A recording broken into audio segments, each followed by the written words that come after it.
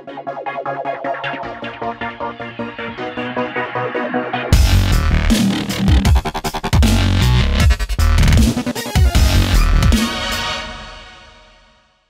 this is Music Tech Help Guy, and welcome to episode 18 of my Pro Tools 11 video tutorial series.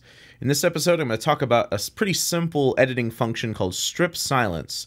What Strip Silence does is it allows you to take out material on a track that is below a certain threshold. So it lets you automatically trim that material or crop that material out. So in my example, it's uh, going to be particularly useful for our kick track here, where we have some bleed from the toms, from the snare, from the hi-hat, and other instruments, if I just want to sort of isolate each kick hit into its own little clip.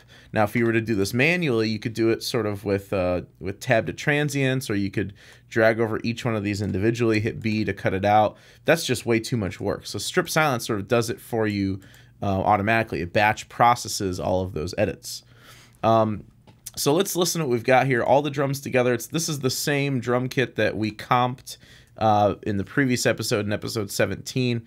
Um, I've just done a little bit of mixing on it. So let's listen to this.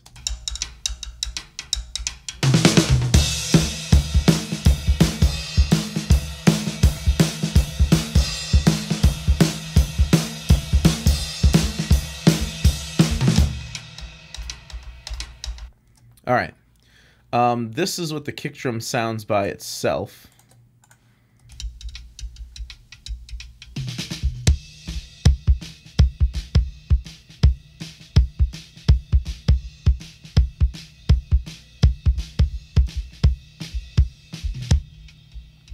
There you go.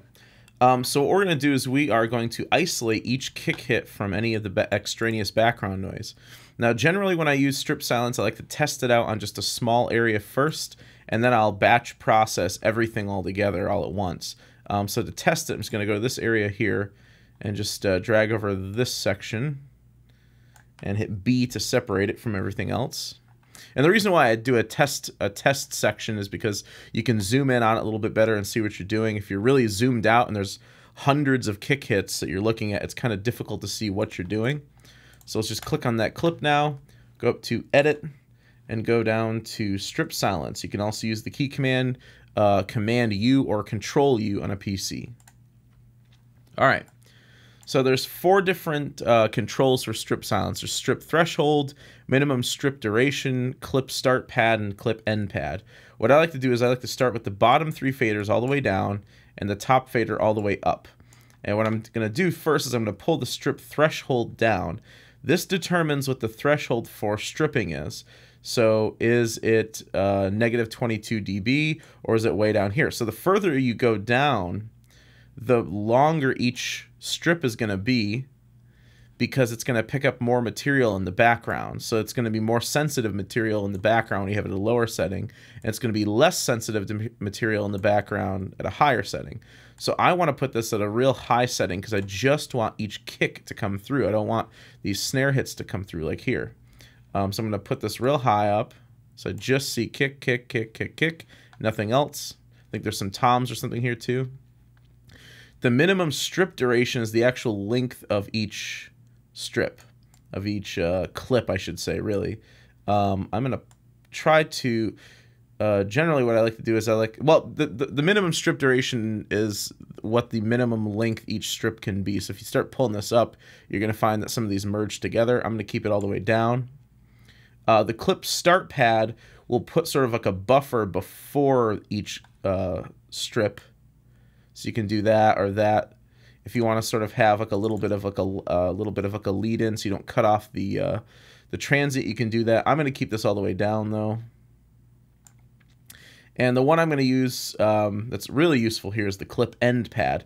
Now, I don't want to just have this tiny little strip. I want it to be a little bit longer because I don't want it to sound like it's too cut off or too gated sounding. By the way, you can do the same thing with a gate plugin. It's just I, I like using strip silence and processing the waveform rather than using a gate anyway. So after we're done, it looks like I've just got one little clip um, for each um, kick hit. I'm going to hit strip, and it gets rid of everything else. So I'm going to take this same setting, and I'll apply it to the first half of the song and the second half. And there we go. So now what I'm left with is a bunch of little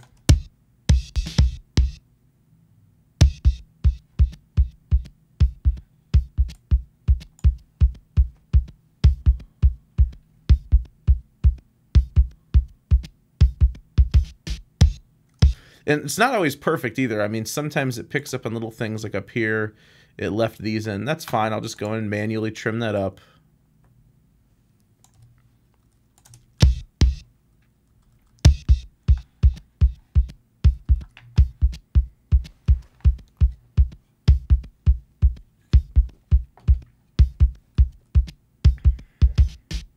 Right here, let a snare drum through. I'm going to delete that.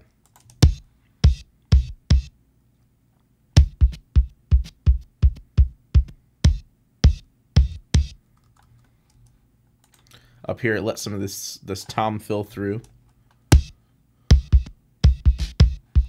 Let some of the snare drum here through. So I probably could have used a, a, a higher threshold.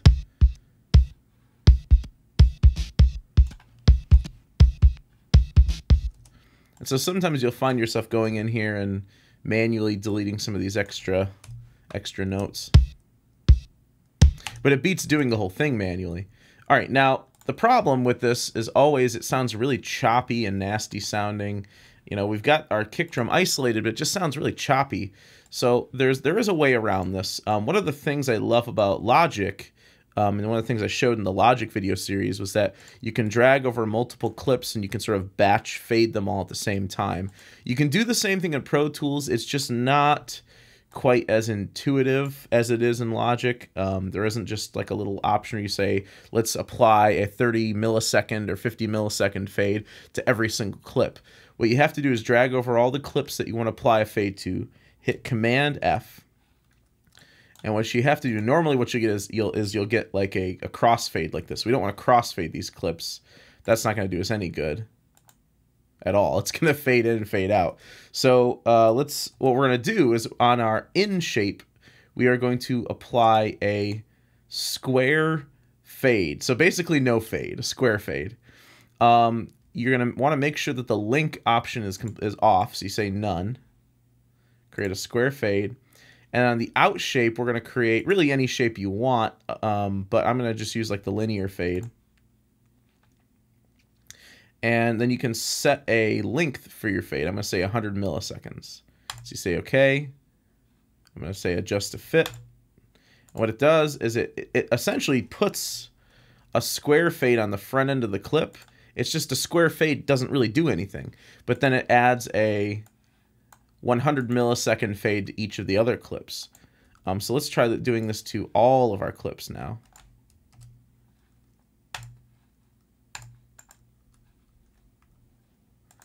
So now every single one of these clips has a short little fade on it. It's going to sound less gated sounding.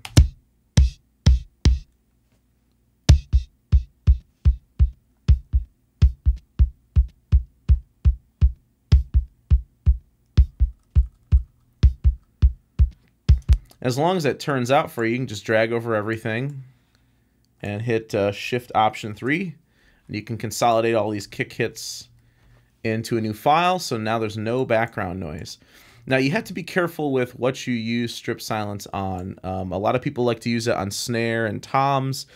Um, I'm a big I'm a big fan of using it on kick, um, but I'm not a big fan of using it on the snare drum uh, because sometimes it tends to cut off the tail end of the snare. And the snare is pretty much one you know one of the drums in the drum kit that's used the most. So i'm very hesitant to use it on snare drum. Sometimes i'll use it like on the upper toms. Um, the bottom tom tends to ring a bit too much for it to really work out but sometimes you can use it on the upper tom track to just isolate toms um, by themselves. Like you know if, if i wanted to use my tom one here by itself there's only really two or three spots in the song where the toms actually used it here, here, here, and here. So if I wanted to, I could click on that, do Command U, set a quite a high strip threshold, so I just get those four sections there. Let's zoom in on this one. Make the uh, clip end pad kind of longer. Something like that. And then strip. And now I just have just these four tom hits.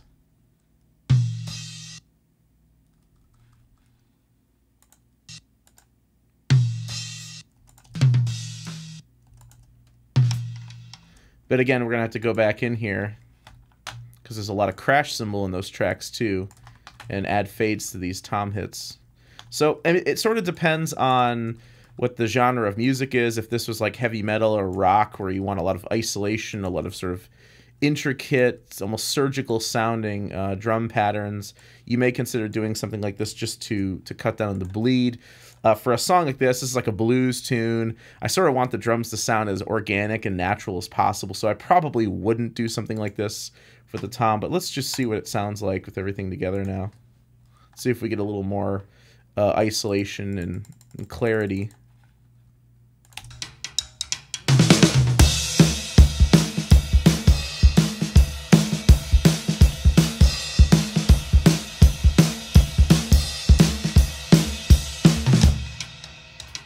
Yeah, it's not too bad. I mean, it actually cleans it up a little bit. We were getting a lot of crash cymbal ring um, and hi hat ring in the first tom.